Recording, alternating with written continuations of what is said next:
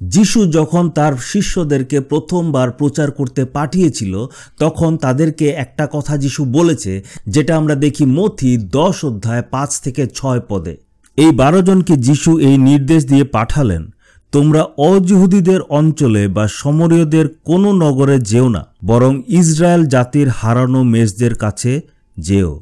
এই পদে স্পষ্টভাবে যিশু বলে দিয়েছে যে, তোমরা অজিহুদীদের কাছে যাবে না সমরীয়দের কাছে যাবে না, তোমরা জিহুদিদের কাছে গিয়ে প্রচার করো। এখন প্রশ্নটা হচ্ছে, যিশু কেন বলেছে যে তোমরা অজিহুদীদের কাছে যাবে না?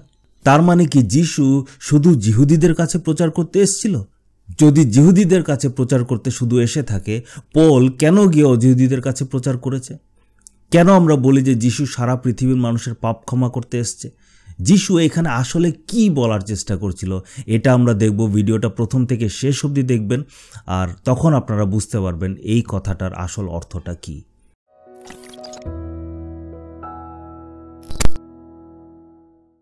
সো ওয়েলকাম ব্যাক আমাদের চ্যানেল আপনাদেরকে আবারও স্বাগত জানাচ্ছি। যদি এখনও আমাদের চ্যানেলটাকে সাবস্ক্রাইব করেননি সাবস্ক্রাইব করে নেবেন আর বেল আইকনটা প্রেস করতে ভুলবেন না।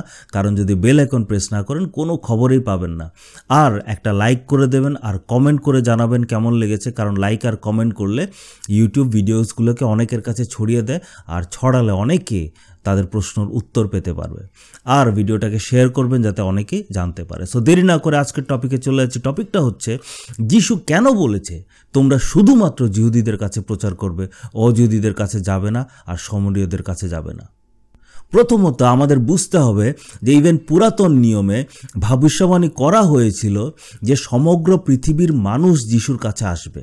যে ভবিষ্যতে একটা নতুন নিয়ম তৈরি করা হবে, যেটা শুধুমাত্র জিহুদিদের সাথে না, এটা পৃথিবীর প্রত্যেকটা দেশের সব জায়গার মানুষের সঙ্গে। ইভেন ওব্রাহামকে ঈশ্বর প্রতিজ্ঞা করেছিল যে, তোমার থ্রু দিয়ে আমি পৃথিবীর সমস্ত মানুষকে রক্ষা করব।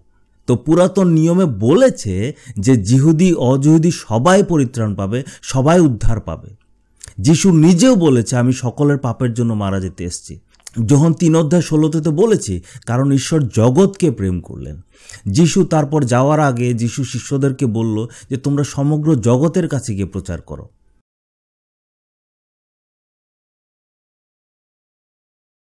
তো এখন যিশু এই কথাটা কেন বলেছে? প্রথম জিনিসটা হচ্ছে আমাদের মাথায় রাখতে হবে, আপনি যখন আপনার বাড়িতে যদি অন্য কোনো নতুন মানুষকে যদি ইনভাইট করতে যান কিছু একটা খাওয়া দাওয়া পার্টি হবে, খাওয়া দাওয়া, যেটাই হোক, আপনি নিমন্ত্রণ করতে যাচ্ছেন, আপনি কি করবেন? আপনি যাওয়ার আগে প্রথমে নিজের পরিবারের মানুষদেরকে ঠিক করবেন তো? আপনি নিজের ঘরটাকে ঠিক করবেন তো? তারপরে তো কি আপনি অন্যদেরকে নিমন্ত্রণ করবেন? সেইমভাবে যিশু বলেছে, এই বারো জনদেরকে যাদেরকে ট্রেনিং দিয়েছে যিশু, বলেছে তোমরা এখন বাইরে যাবে না।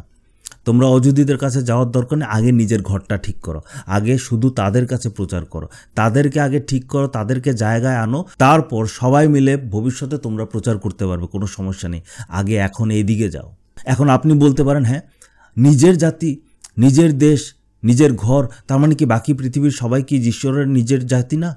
নিজের দেশ না? আরে, ইসরায়েলের মানুষরা হচ্ছে ঈশ্বরের মনোনীত জাতি।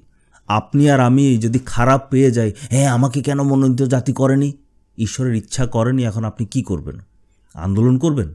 হ্যাঁ আমি বাইবেল পুড়িয়ে দেব। দিন পুড়িয়ে দিন আরও হাজারটা প্রিন্ট হবে। আমি চার্চ যাব না। যাবেন না যাবেন না, ভালো হয়েছে, নরকে যাবেন, কি হবে?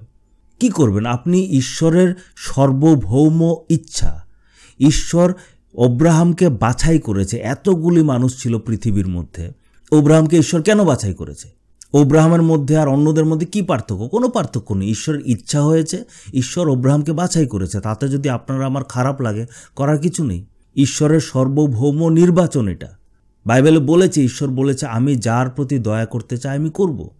তো ঈশ্বর ওব্রাহামকে বাছাই করেছেন। ঈশ্বর ওব্রাহামের থ্রু দিয়ে ইসরায়েল জাতি তৈরি করেছেন। ইসরায়েল জাতি এমন একটা জাতি, যে জাতিকে সবচেয়ে বেশি অলৌকিক কাজ ঈশ্বর করেছেন তাদের মধ্যে। ইভেন তাদের সামনে সমুদ্র ভাগ করে দিয়েছেন। ইসরায়েল এমন একটা দেশ, যেটা, যেই দেশটাকে ঈশ্বর নিজে স্থাপন করেছেন। এমন কোনো দেশ ছিল না এমন, যাকে ঈশ্বর নিজে স্থাপন করেছেন। ঈশ্বরের যে বিধান, যে আইন, এটা ইসরায়েলকে দিয়েছে। ঈশ্বর ইসরায়েলের মন্দিরে নিজের মহিমাটাকে নিয়ে এসছে। কোথাও করেনি এই কাজটা।